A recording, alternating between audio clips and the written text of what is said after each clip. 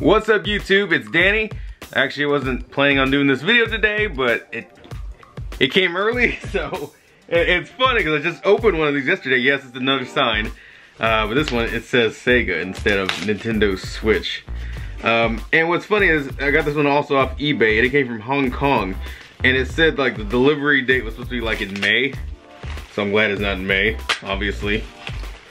So I don't have to wait that long, but is great because I'm still working on my room. I'm almost done with it now. So it's starting to look like order and not chaos now. So what I'm doing is I started opening the envelope and I realized what it was, so I stopped to make the video. Oh my goodness. Yes, yes, yes. This is looking cool.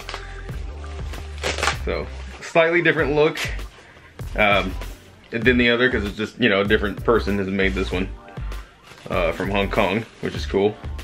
I'm gonna try to not touch the glass so much this time. And get that little piece off, okay? Look at that. So cool, so cool.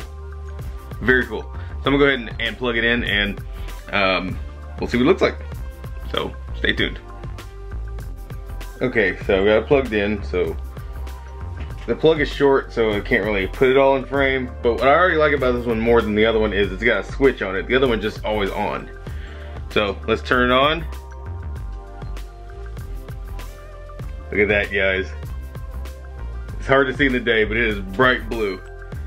So that's that. That's all I can show because the cord is already stretched as far as it can go. Uh, but what I'll do is I'll show you what it looks like hooked up and mounted on the wall. So jump cut.